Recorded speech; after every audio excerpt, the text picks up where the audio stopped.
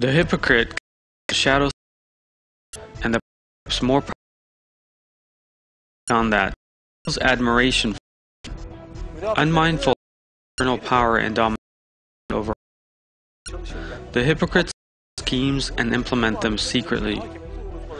With the balances of the world and based on what seems on the outside of incidents they make analysis in line with their own shallow mind they decide with whom to side if they're which everlasting take side feels this character as hypocrite and to those unbelievers as protected rather than the believers hope to find power and power and strength belong entirely to God. The world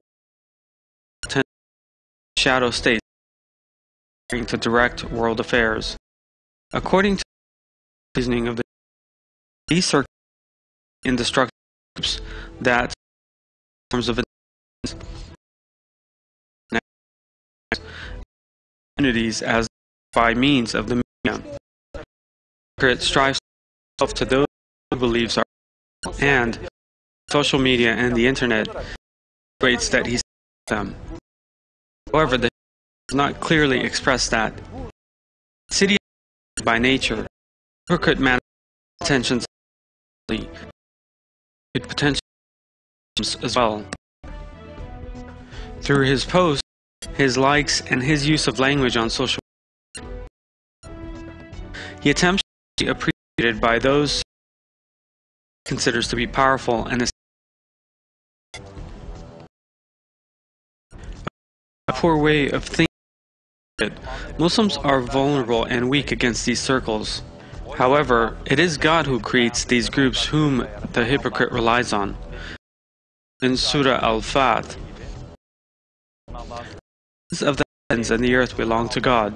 In to the eternal, the shadow states, the shadow organizations, or any similar organization, no matter how or powerful these people to those who are deceived by outer appearance, they are in fact poor beings who can't do anything God.